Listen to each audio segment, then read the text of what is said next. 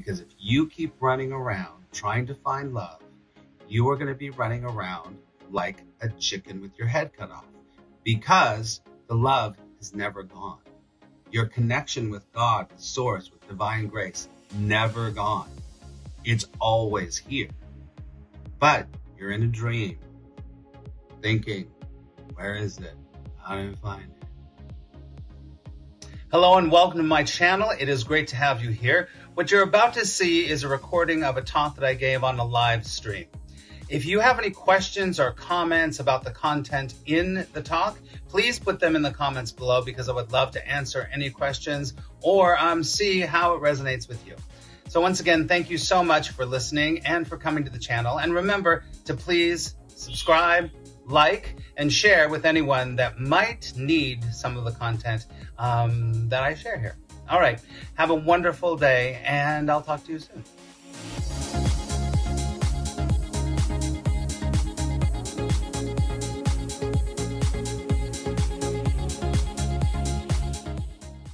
Today we're looking at a section in the course. I'll tell you what the section is in case you do have a Course in Miracles, you can follow along. We're in chapter 16, section 4, chapter 16, section 4, and it's paragraph 6. Chapter 16, section 4, paragraph 6. Now, if you don't have the Course in Miracles, that's okay too. It's okay too. But people that are students like to follow along. Uh, so, chapter 16, section 4, paragraph 6. And today's topic is stop seeking for love, which is immediately right away is you're going to be like, what? Or you might not be. So, all right. So before we do any of these talks or broadcasts, I like to say a prayer so we're all focused in, focused in. Okay. So let's close our eyes. Let's take a big deep breath.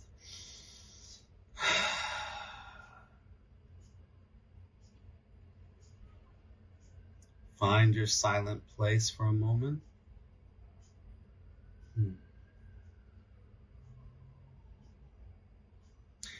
Dear Mother, Father God, Divine Source, Universe, all that is, we come together today with open hearts, open minds, and an open spirit. We allow today to be a time of love, a time of support, and a time of growth for everyone here.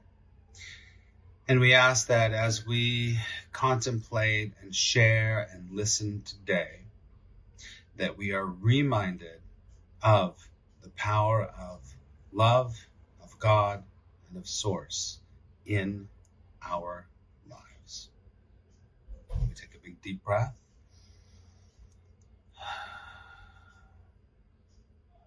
And together we say, Thank you very much. And so it is. Amen. Actually, this whole section is amazing. You're going to hear me say that a lot. And my regular students hear me say that a lot. I'm like, this section is so good. This section is so good. But this section is really good. All right. So, okay. So, this is in a section called the forgiveness of illusions, which right away gives you a clue about where we're kind of going here. So, and this, um, this particular section, the chapter is the forgiveness of illusions, but this particular section is called the illusion and the reality of love. Okay, so let's let's start. What I'll do is I'll read a little bit, we'll break it down, read a little bit, break it down, and we can um, we'll have questions and comments and stuff as we go along. Okay? All right, so here we go. Paragraph six.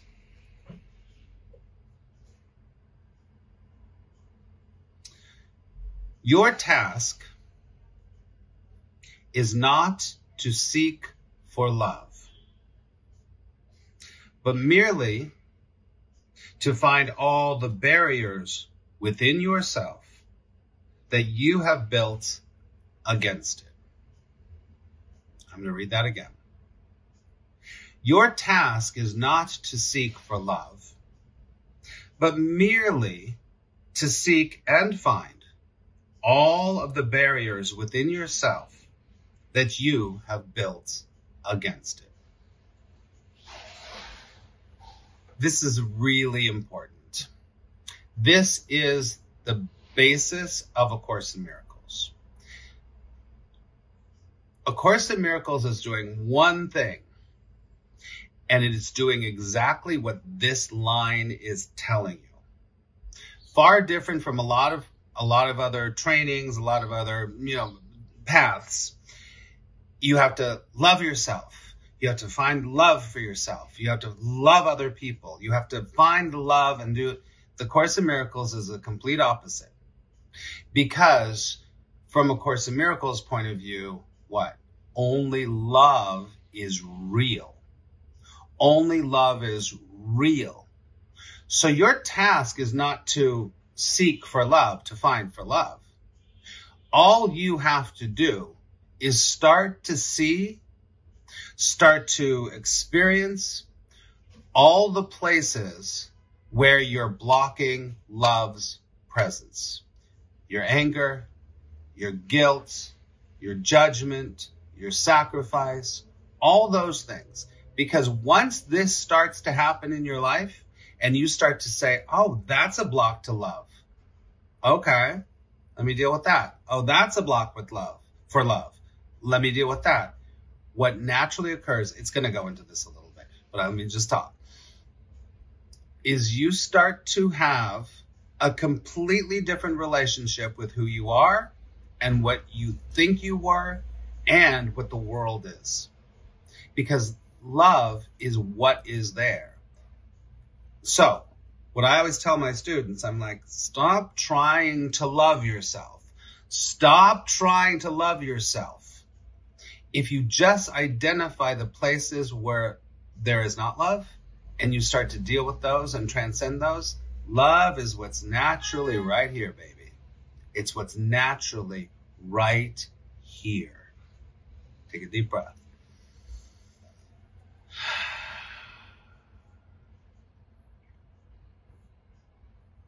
That's right, Vince. Only if you delay the process. So let's keep going. I'm going to reread it and we'll keep going. Your task is not to seek for love, but merely to seek and find all the barriers within yourself that you have built against it. It is not necessary to seek for what is true, but it is necessary to seek for what is false. So you don't need to try to find love because it's already there. It's true. That's the truth. But you do need to seek for what is false. What is the illusion? What is the block? This is very basic.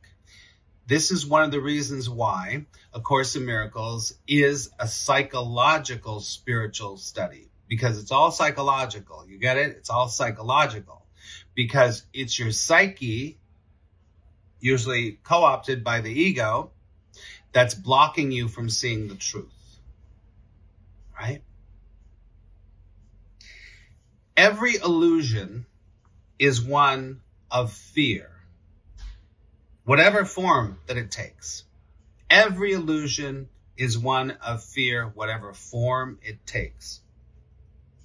And the attempt to escape from one illusion into another must fail. If you seek love outside yourself, you can be certain that you perceive hatred within. I'm oh, sorry, I lost my place. Uh, hatred within and are afraid of it.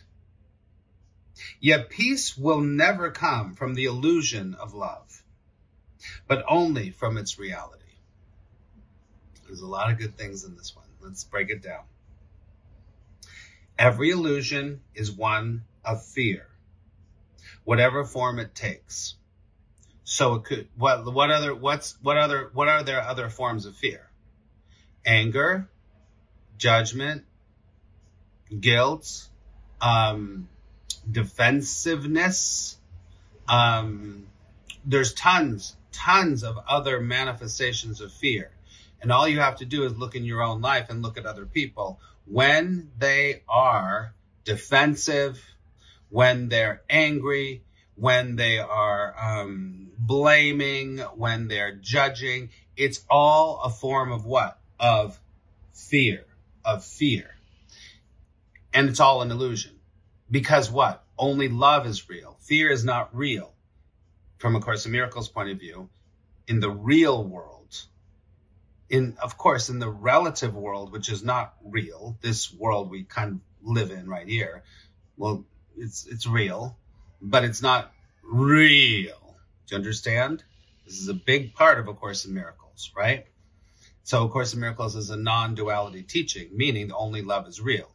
And you have to see the duality in order to then escape it, right? So, every illusion is one of fear, whatever form that it takes. Think about what form your fear takes. Think about it. Blame, withdrawal. There's a million. There's a million forms of the fear. How does your fear manifest for yourself? This is also where it comes into projection. You project. I was talking to one of my students yesterday that it was very obvious. She didn't see it until I pointed out that what she was doing was projecting, projecting her fear onto someone else. And it was blaming, we all do it. Listen, there's, there's no, there's no judgment here. We project that fear onto someone else.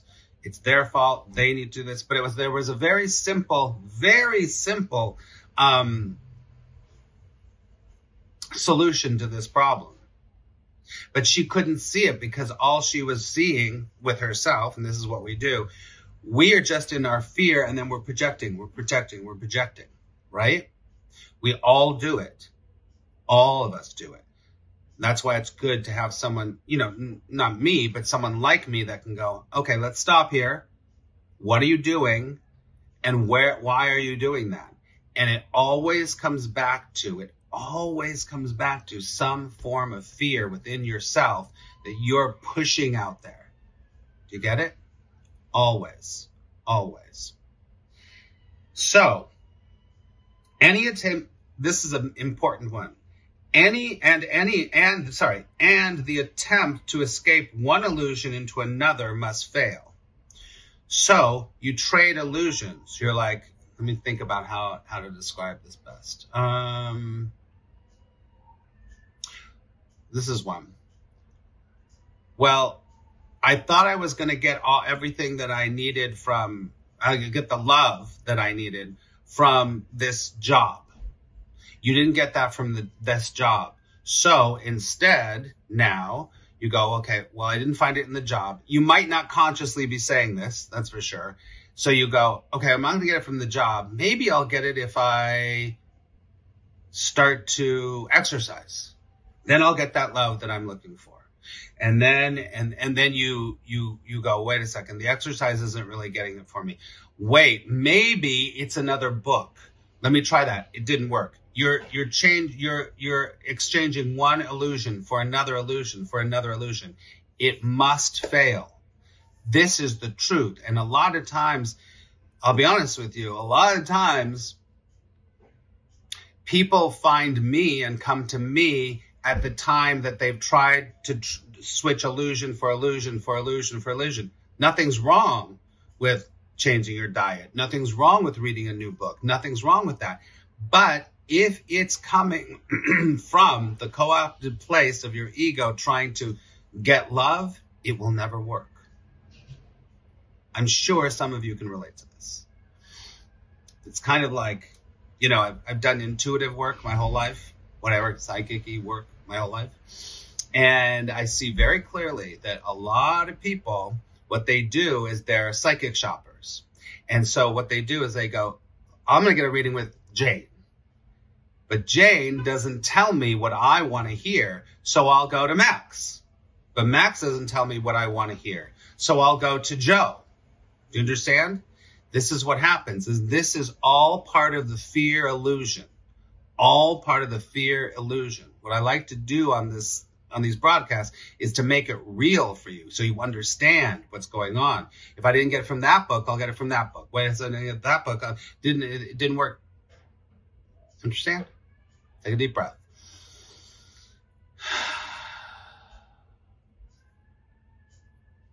So you cannot escape by changing one illusion for another illusion. It never works. It will never work. You might be in the process of doing that right now. So ask yourself if that's what you're doing.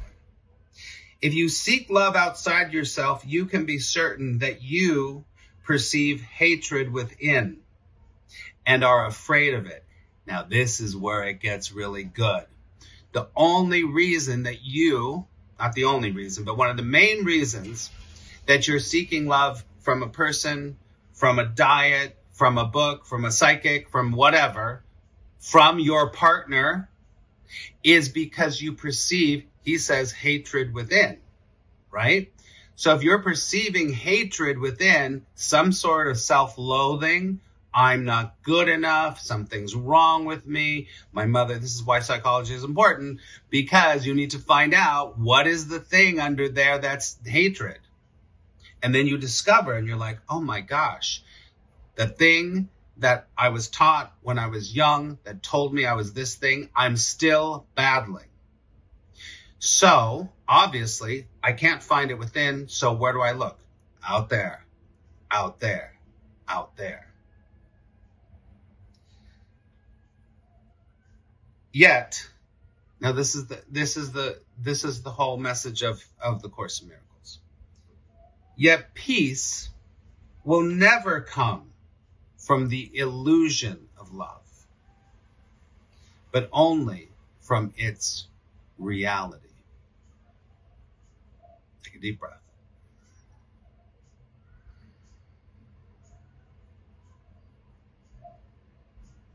So you want to ask yourself, you want to feel yourself, you want to be able to be with yourself and say,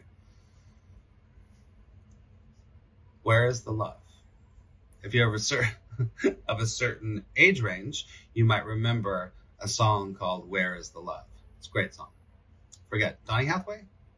Where is the love? Anyway, anyway. Um, so this is this whole lesson today that we are working on is foundational. It's foundational to your peace. Because if you keep running around trying to find love, you are going to be running around like a chicken with your head cut off because the love is never gone. Your connection with God, with source, with divine grace, never gone. It's always here. But you're in a dream thinking, where is it? How do I find it? Okay, take a deep breath.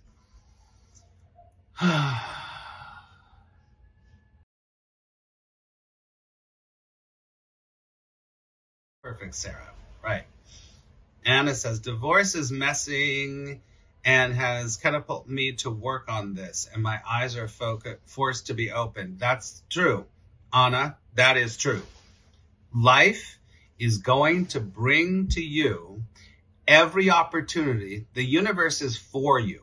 It's not against you. There's no lessons that the universe is going or God's going, oh, Anna needs to learn that. It's all meticulously, beautifully set up so that you can get what we're talking about. It's so perfect. Anna, good for you. I get it. Um, Stephanie, that's a great question. What is the definition of love? It does hurt Anna because your ego doesn't want to be wrong.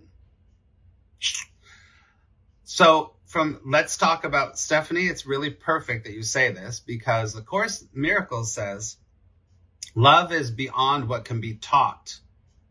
So love cannot be taught. We can't define love. Love is an experience. The introduction to A Course in Miracles will blow your mind and it's one page and it's one paragraph because the only thing that you can do is do the work to remove the blocks and you will have the experience of love. And everybody has a different a different instrument. So your experience of love is very different than mine. But there is a commonality there. There's a commonality for sure. So there's no definition, but you know when you find it. You know when you find it for sure. That's why, you know, the word love and the word God, two words that come with a ton of a ton of baggage. I get really, even though I have to use them because I'm talking to you and I need to explain something, it's um, just be aware. Be aware that both of those come with a lot of baggage that you're bringing to the table every time that you're that you're talking about love or God, right? So always re-ask yourself, what is love? What is God? Important. You're welcome.